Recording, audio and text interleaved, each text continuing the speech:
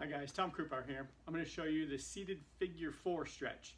This stretch, um, in your case, is going to be meant to stretch the iliotibial band, the IT band, very close to the knee.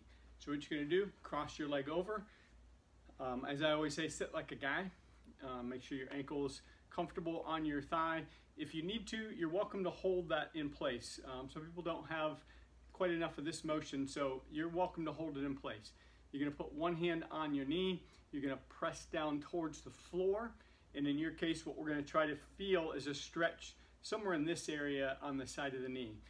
Um, you're gonna hold that stretch for 30 seconds minimum, 60 seconds is ideal, and you're gonna relax, and I want you to do that two or three times, holding each one for 30 to 60 seconds, and then I want you to do that two or three times a day.